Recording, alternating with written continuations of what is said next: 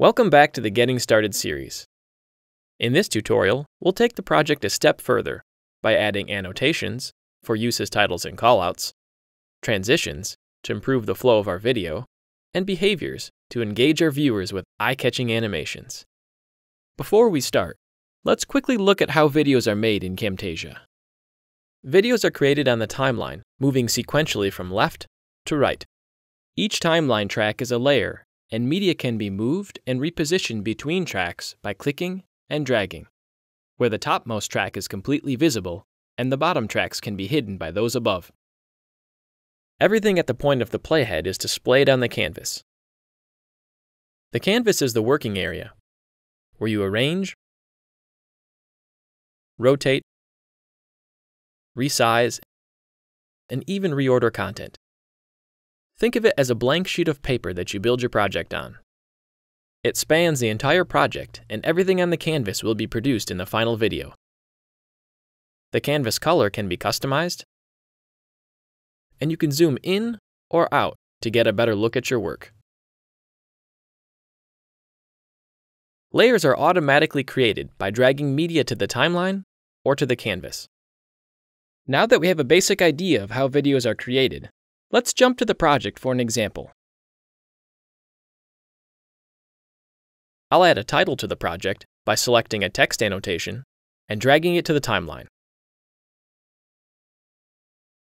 The annotation appears over top of the video since it is on the highest track. Double-click the annotation to add text, use the handles to change its size, and click and drag to reposition. Since titles are easier to read when they're on top of a solid color, I'm going to select all the media on the timeline and move it to the right. This creates a blank timeline space where the color of the canvas shows through. I can use this space for a title slide. To customize the look and feel of the annotation, select it. Then change its font, background color, and more in the Properties panel. Press play to preview the title, or move the playhead and press the spacebar. Hmm. The jump from the title to the recording is a bit harsh. Let's smooth it out by adding a transition, which can be done by dragging it to the timeline. Clips on the timeline highlight to show where the transition can be applied. And where two pieces of media touch each other, the transition is automatically applied to the end of the first and the beginning of the second. To change the duration of the transition, click and drag the ends. To delete a transition, click the transition and press delete. This is looking pretty good. Let's take it a step further and bring the text to life by adding a behavior. Behaviors can be applied to all visual objects on the timeline. Simply drag the behavior to the annotation and watch what happens.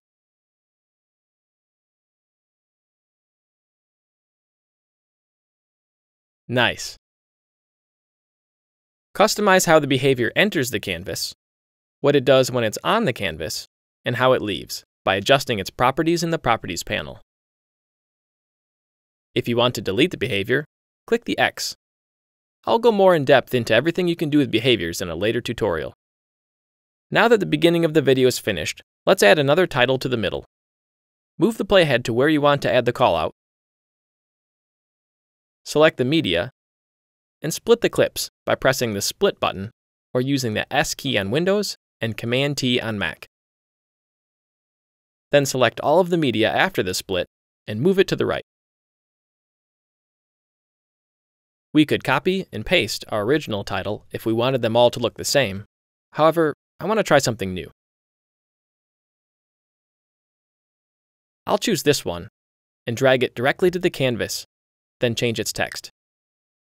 Notice that the callout is added to the timeline exactly where the playhead is located. Reposition and resize it to fit into the space we created.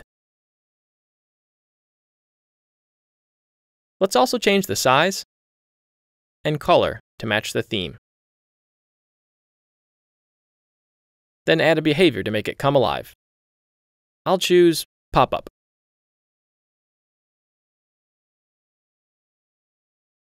Lastly, add a transition to both ends of the annotation at the same time by dragging it to the middle of the clip.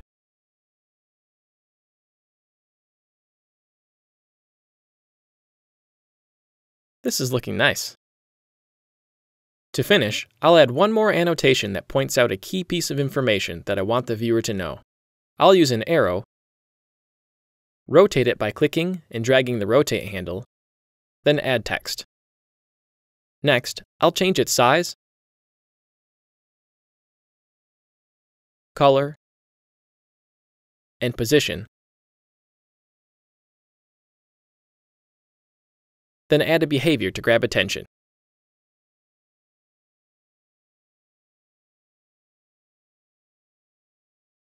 Lastly, change the behavior to make it slide in from the right.